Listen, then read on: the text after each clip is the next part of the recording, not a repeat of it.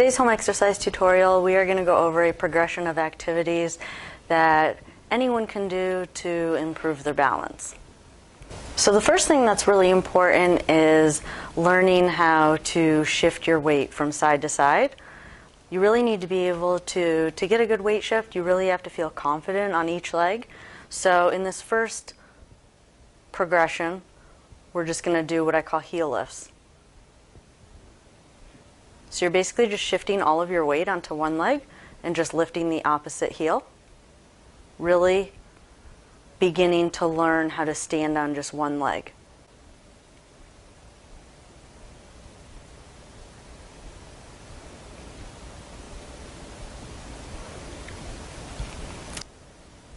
So this next progression, you're going to stagger your feet and shift the weight to the front foot and lift the back leg and shift it to the back leg and lift the front foot. So you're basically, again, just learning how to feel comfortable standing on one leg. Notice both feet are still staying on the ground. So in these early progressions, you really want to make sure that you're still keeping both feet on the ground until you get really comfortable and feel confident with all your weight on one leg while still having that other leg on the ground to give you a little bit of stability.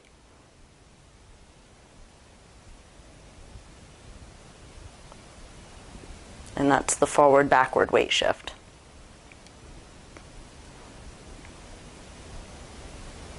In this, in this next progression, you can take a yoga block. You can buy one for about $5 on Amazon. They're a great tool to have for a lot of different things. This is just one way that you could use a yoga block. So we're going to start with the yoga block with the widest part on the ground. So you can see it's the widest part of the yoga block is on the ground.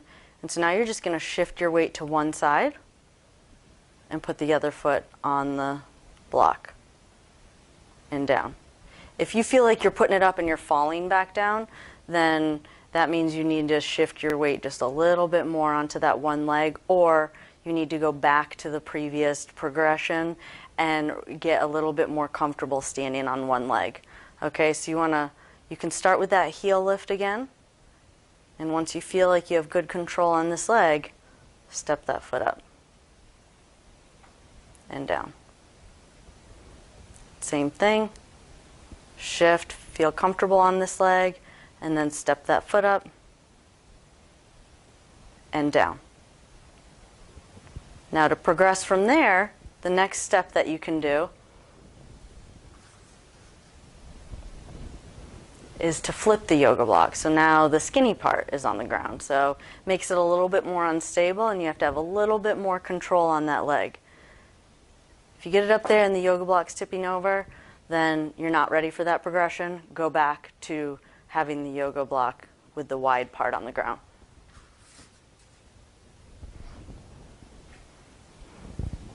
In this next progression, so you should be able to control it up. You shouldn't feel like the yoga block is wobbling at all because all your weight should really be on this leg and you're just gently tapping this foot on here and down. Again, you don't want it tipping, you don't want it to feel like it's shaking. All my weight is really on this leg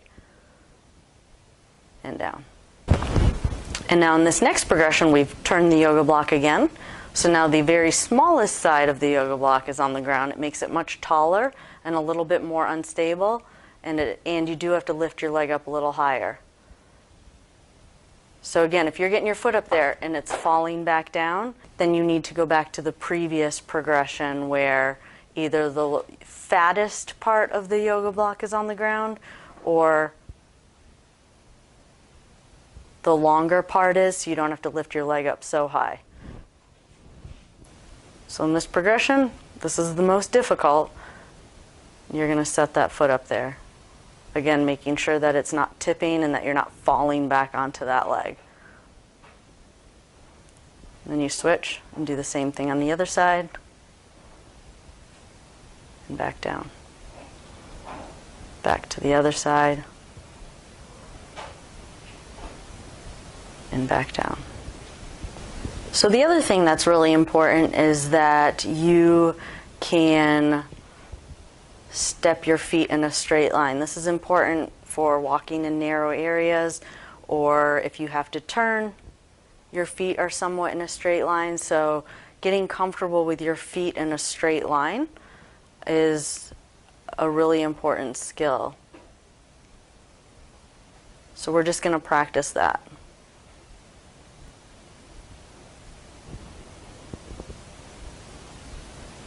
So pretty easy. You're just getting comfortable standing with your feet in a straight line. If that's too difficult or you feel like you can't maintain your balance, start with your feet slightly staggered. Okay? And then go ahead and switch. The other foot slightly in front. You should be able to hold that for at least 30 seconds without losing your balance before you attempt to stand with your feet in a straight line. So you should get really comfortable with your feet staggered. So you can see my the heel of this foot is pretty close to the big toe on the other foot. So they're pretty narrow. And again, you should be able to hold that for about 30 seconds without losing your balance before you go on to the next progression, which would be to stand with your feet in a straight line. And again, a good goal for what we call tandem standing would be maybe to hold it for about 30 seconds without losing your balance. For safety reasons, it's okay to start holding onto a wall just to make sure that you can maintain your balance and that you're going to be safe when you do it, and then just take your hand off the wall. And again, you want to try each side for about 30 seconds.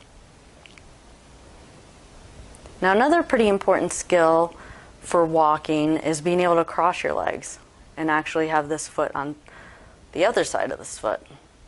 And again, that's for turning. There's a lot of times where you might end up with your feet crossed, and I've noticed with patients that sometimes they get a little disoriented or they kind of don't know what to do with their body if their feet end up in this position. So that makes them a huge fall risk. So we're going to work on that. So once you get good at here, and you can get your feet in a straight line, you're going to step it across and back. You're going to step it across and back.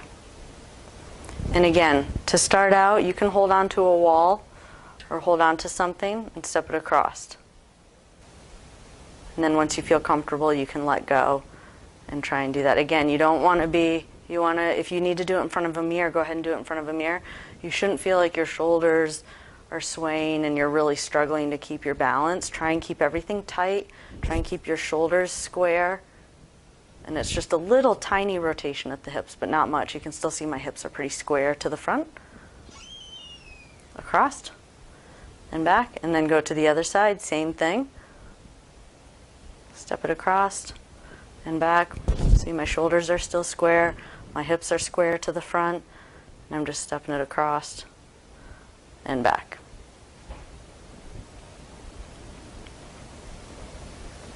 Across and back. Step it across and step it back.